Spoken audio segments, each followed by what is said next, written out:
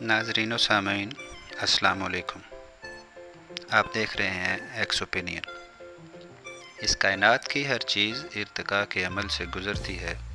कैसे एक बच्चा जवान होता है और कैसे एक पतली सी टहनी जैसा चाँद बढ़ते बढ़ते एक गोल रोटी की शक्ल इख्तियार कर लेता है। सोशल मीडिया जैसा आज आपको नज़र आ रहा है, ये हमेशा से ऐसा ना था। एक तिहाई पहले तक हमारे पंजाब के देहातों में कामन तंदूर हुआ करते थे।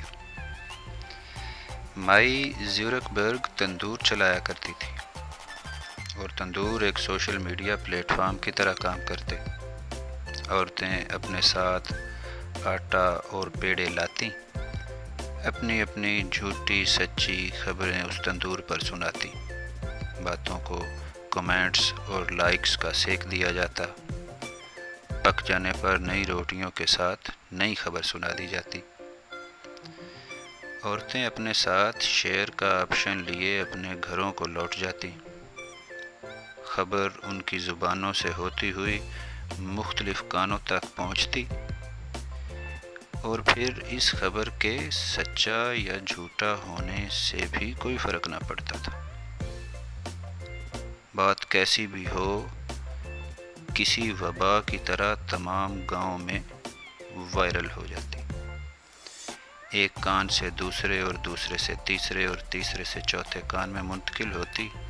झूठ झूठ झूठ, ऐसी झूठी खबरों के नतीजे में बहुत से मसाइल जन्म लेते थे। यहाँ तक के घर टूट जाते, या कम अज़ कम सर फटोल तो हो ही जाया करती थी। अब आज के सोशल मीडिया पर नज़र डालें, क्या ये वही तंदूर नहीं है? वहाँ चंद रोटियाँ लगवाना और यहाँ चंद लाइक्स बटोर लेने की खातर झूठी खबरों को सच बनाकर पेश किया जाता है। और पेश भी ऐसी मक्कारी से किया जाता है कि झूठ का गुमान तक ना हो।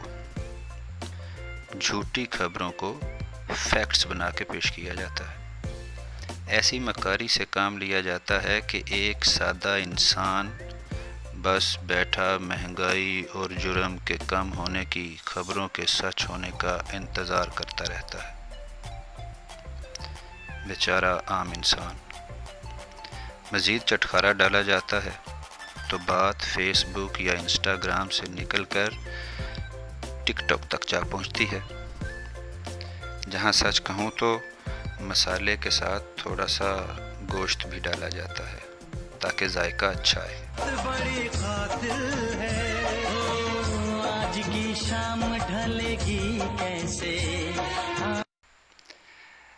मगर भला हो व्हाट्सएप का कि उसने ठरक को भी ऑनलाइन करके प्रेमियों की मुश्किलें आसान कर दी हैं।